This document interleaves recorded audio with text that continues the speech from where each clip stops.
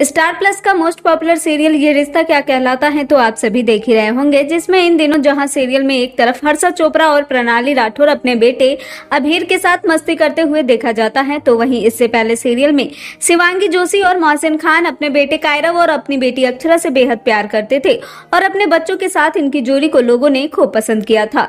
लेकिन दोस्तों, क्या आप जानते हैं की इन दोनों जोड़ियों में से दर्शकों ने किसे किया चाइल्ड के साथ?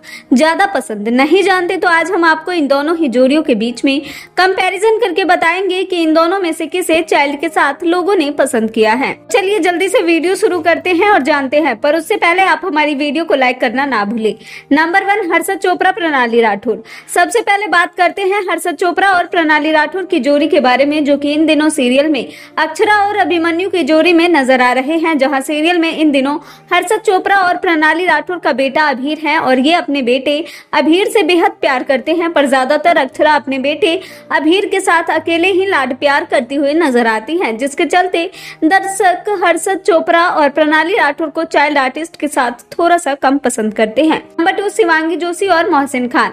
अब बात करते हैं शिवांगी जोशी और मोहसिन खान की जोड़ी की, जो की सीरियल में सेकंड जनरेशन में नज़र आए थे, जहाँ सीरियल में शिवांगी जोशी, नायरा और सीरत के किरदार में नज़र आई। तो वही मोहसिन खान कार्तिक के किरदार में नज़र आए थे और सीरियल में इन दोनों की जोड़ी के साथ चाइल्ड आर्टिस्ट के तौर पर कायरा गौरव और अपनी बेटी अक्षरा के साथ खूब मौज मस्ती करते थे। और इन दोनों की जोड़ी को इनके बच्चों के साथ लोगों ने अपना खूब प्यार दिया था।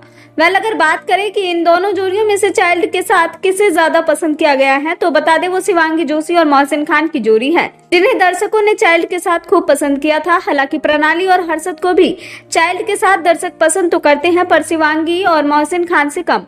तो दोस्तों, आपको इन दोनों जोड़ियों में से कौन सी जोड़ी पसंद है, आप हमें कमेंट बॉक्स में कमेंट करके ज़रूर बताएँ। और इसी तरह की तमाम वीडियोस को देखने के लिए आप हमारे चैनल को सब्सक्राइब करना ना भूलें।